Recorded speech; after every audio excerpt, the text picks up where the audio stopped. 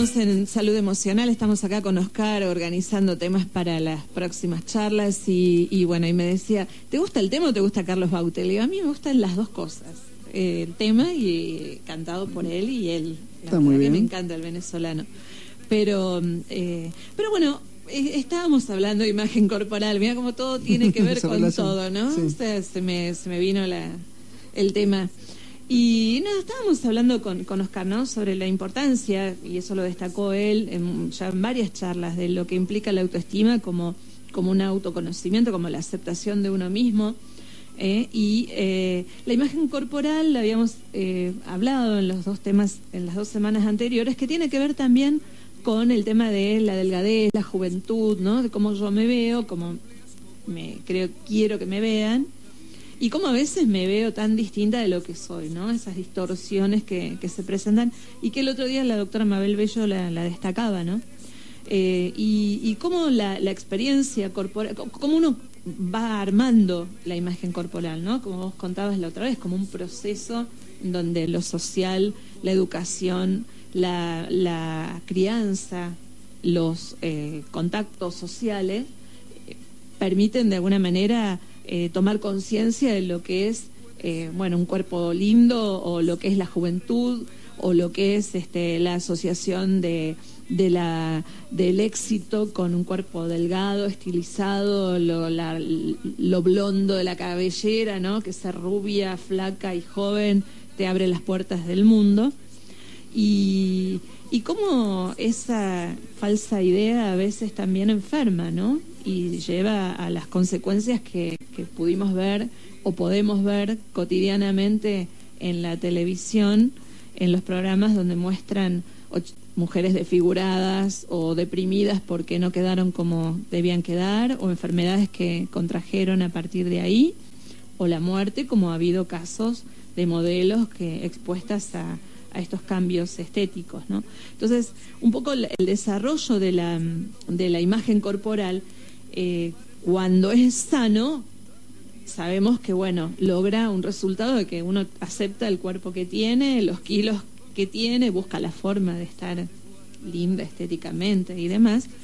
Pero bueno, pero no deja de comer, de dormir, ¿no? Y ni se obsesiona con y se pasa la vida en un quirófano este, porque no lo puede manejar.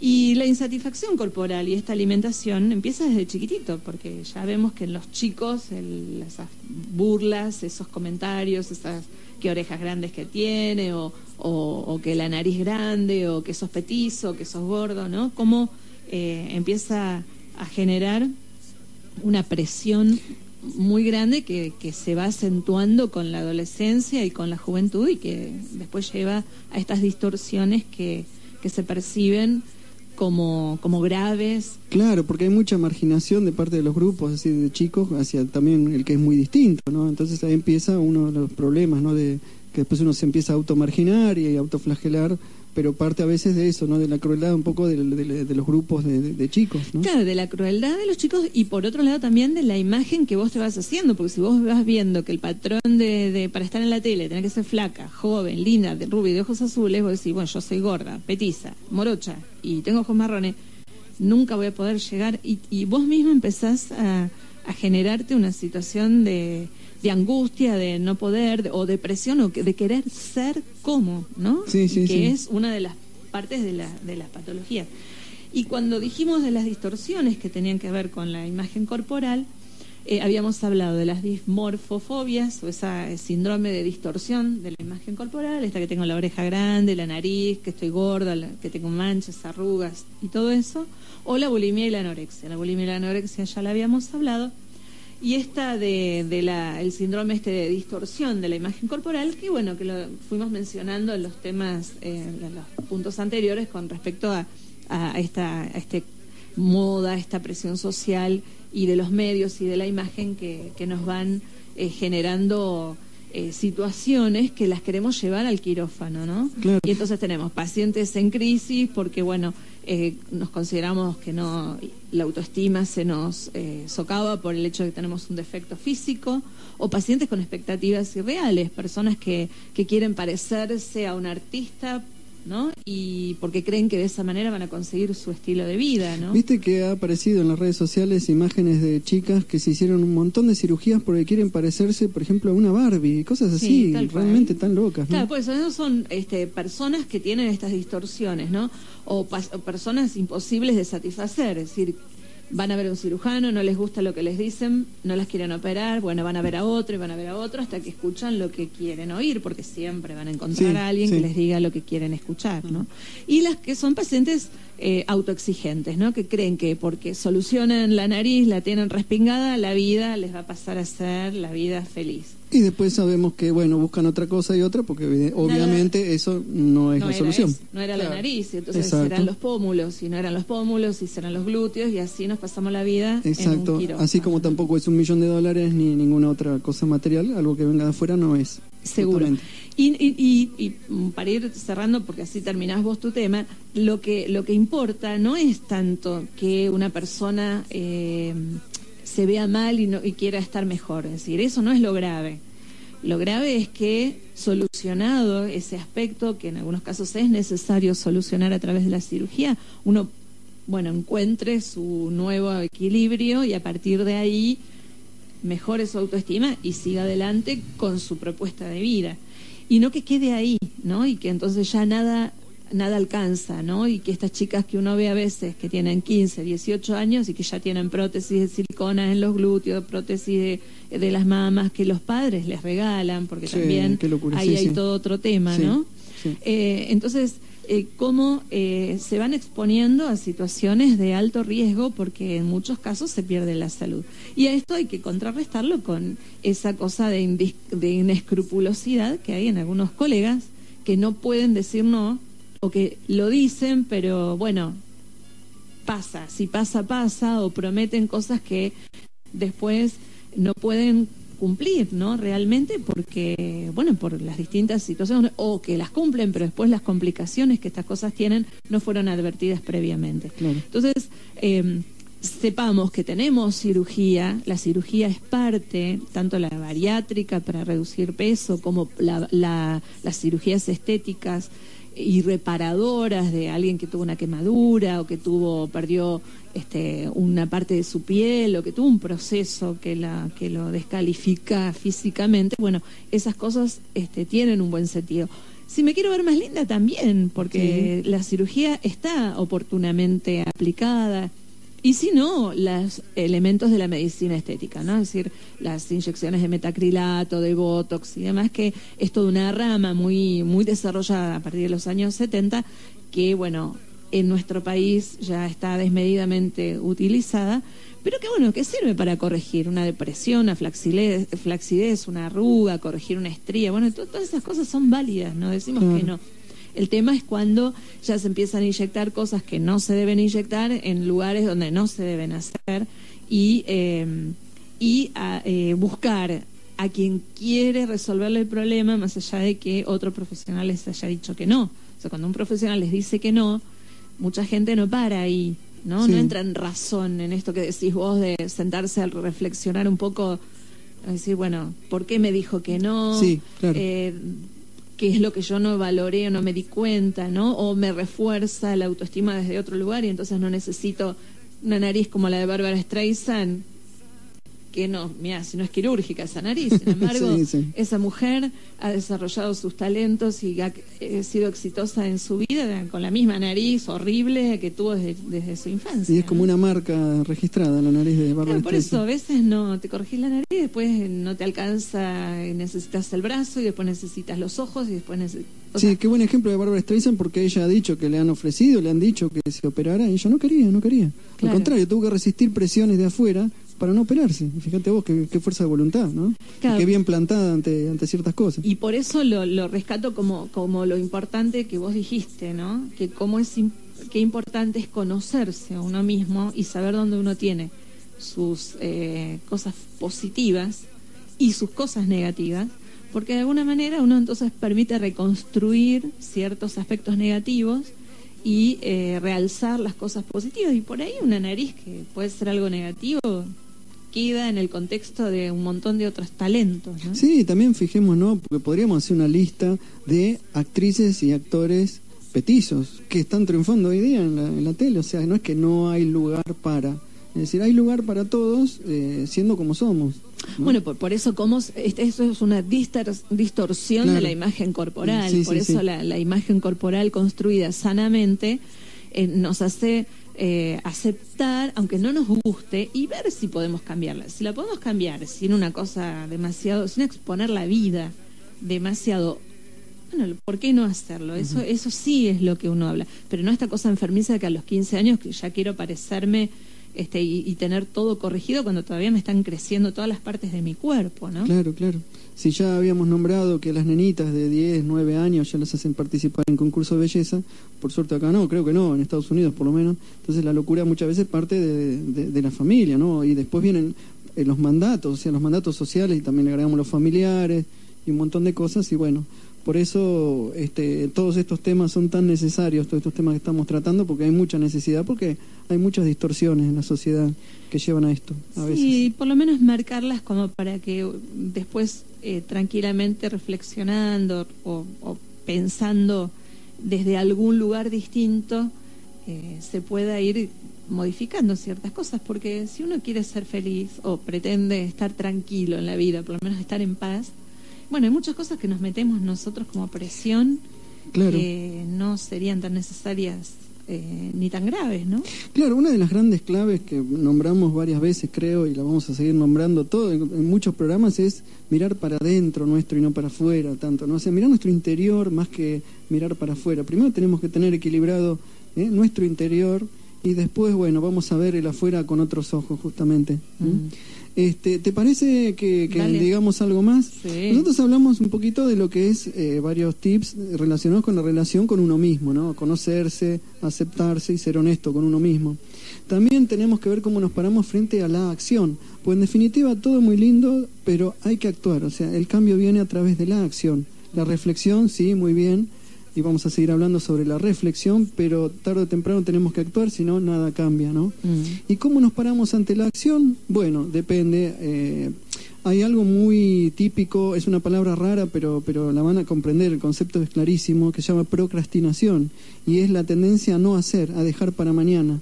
Eso es típico de la gente con problemas de autoestima, ¿no? Mm. De dejar para mañana, para mañana. Fíjate que esto se relaciona mucho con la motivación. Por eso es tan importante, este, una vez que tenemos el cuadro y, incluso esbozamos un plan, bueno, ver cómo llevamos adelante ese plan. ¿Te acuerdas que hemos hablado en los cursos del de, Kaizen, que es un método que hace que uno actúe sin, digamos, puenteando los mecanismos del miedo, es decir, sin, que, sin hacer cambios tan bruscos que justamente se active la amígdala, esa parte del cerebro que es como una, como una alarma eh, del miedo. Claro, entonces que no nos bloqueemos, que el miedo no nos bloquee. Entonces, por eso cuando uno hace un plan, este, tiene que ir, eh, yo diría necesariamente, de a poco y de a muy poco. Uno este, dice, Pipe, si vamos de muy poco, ¿cómo vamos a llegar a lo que queremos? Bueno, pero es un comienzo, porque después nos desbloqueamos y vamos a avanzar más rápido. Es como poner en marcha la rueda. Por eso los planes tienen que hacerse inteligentemente, tienen que hacerse muy de a poco. ¿eh? Claro, porque uno ve, uno piensa que tiene que cambiar, y, pero decís, bueno, pero el proceso es tan amplio y, yo quiero ya cambiar mañana a la mañana ser otra persona. Claro, ese error, ese, ese defecto no tenerlo. Y verdaderamente requiere de un proceso, ¿no? Claro, así como sabemos que si tenemos un exceso de 20 kilos no lo vamos a bajar en un mes, ¿no? Este, tampoco en dos y tampoco pensar que lo, lo, tenemos que bajar en tres. Es decir, poner en marcha el proceso de un cambio de hábitos. Eh, es eso, es ir de a poquito. Es como pensar que, bueno, quiero ser actor, quiero ser estrella de Hollywood, entonces ya me voy a Hollywood. No, tengo que estudiar eh, actuación e ir probándome en mi pueblo, en mi ciudad y después vemos para, para dónde me da la talla. uno sabe que que hay que hacerlo así. ¿Cuál es la clave entonces por la cual no nos quedamos en la mitad de camino?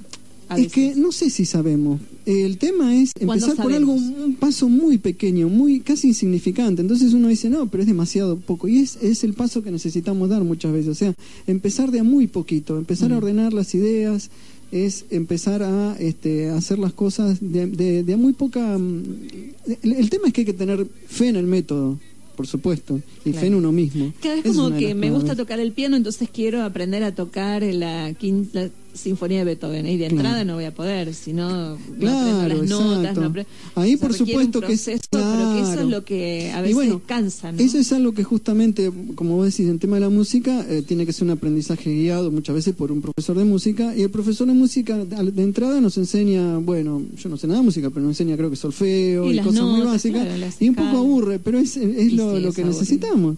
Y primero tendremos que aprender a tocar el feliz cumpleaños y bueno, es, un es parte del proceso, ¿no? Si no, pretender de entrada dar, eh, digamos, subir una escalera dando de este, saltos es imposible, hay que ir peldaño por peldaño. Esto es, eh, es sencillo, viste que suena sencillo, pero es fundamental y muchas veces fallamos en eso, en ir paso a paso.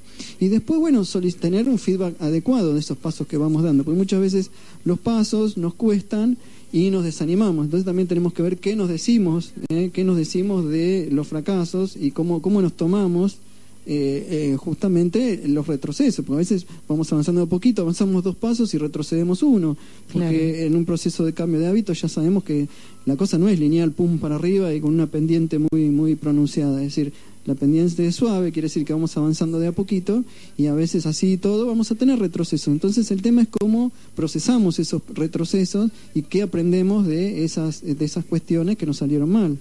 Claro. Entonces, actuar es fundamental y acallar esa crítica interior también tan tan este, tan dura que tenemos muchas veces los perfeccionistas también, ¿no?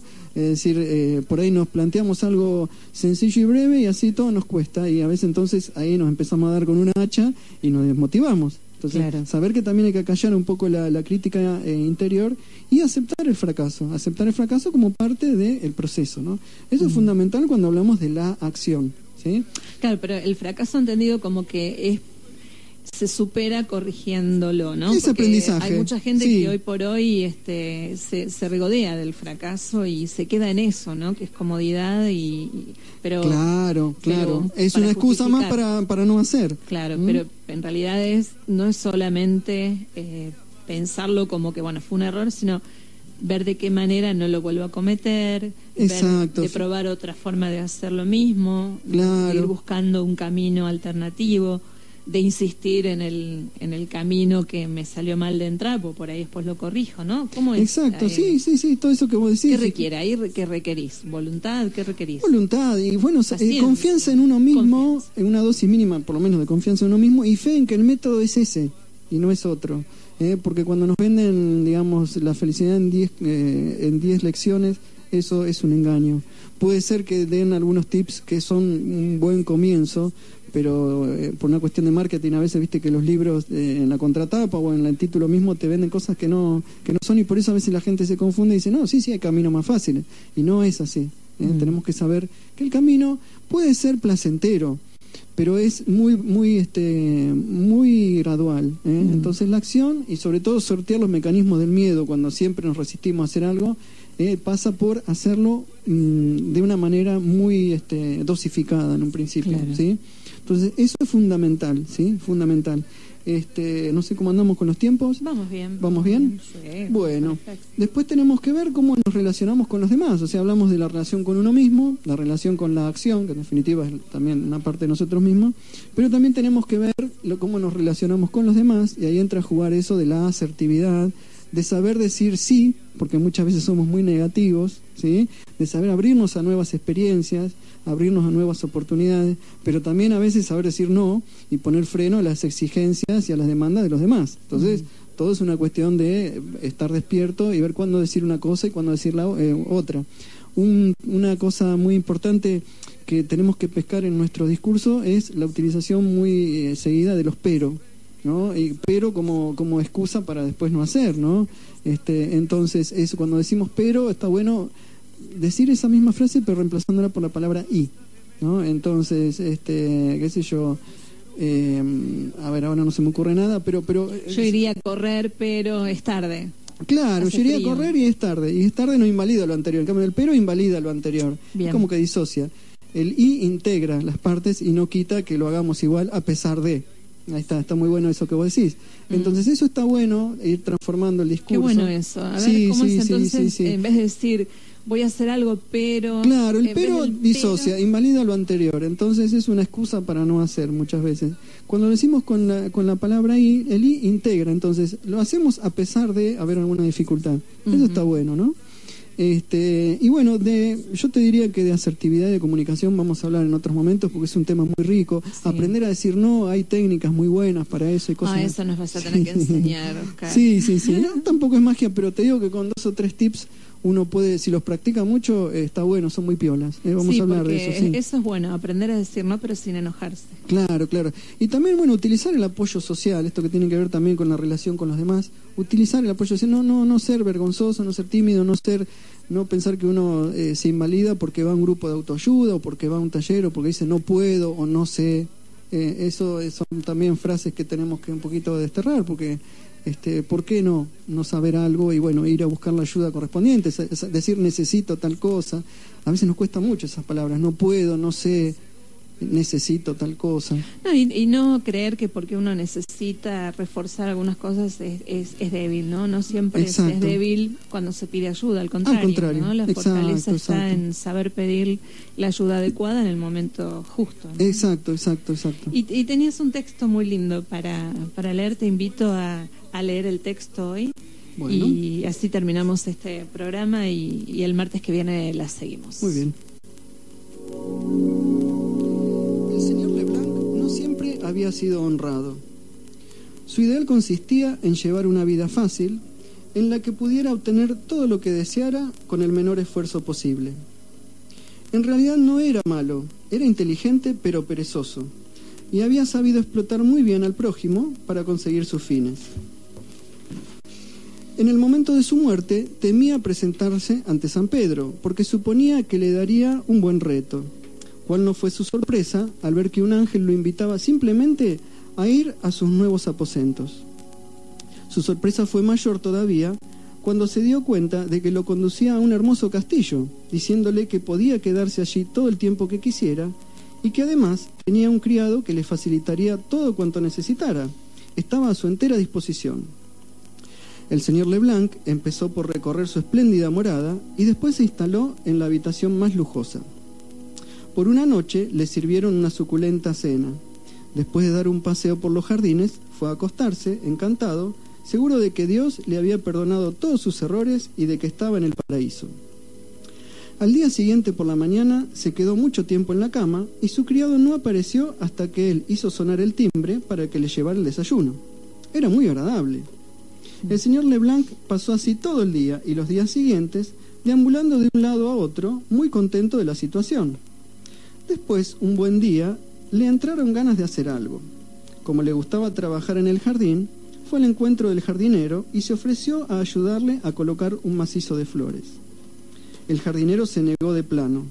Le dijo que no tenía derecho alguno a ayudarlo. Se sorprendió de que existiera esa prohibición, pero como también le gustaba cocinar, fue a la cocina y ofreció su ayuda al cocinero, que le respondió igual que el jardinero. Intentó así diversas ocupaciones, pero cada vez le prohibían hacer lo que fuese, incluso hacerse la cama u ordenar su habitación. Al final, cuando ya no podía más, llamó a su criado para comunicarle su frustración. Le dijo que esas prohibiciones eran ridículas y que se le estaba haciendo insoportable tener que estar así sin hacer nada. Empezó a enfadarse y le dijo que vivir así se le había convertido en un infierno. Entonces el criado le respondió, Pero, señor Leblanc, ¿Dónde cree usted que está?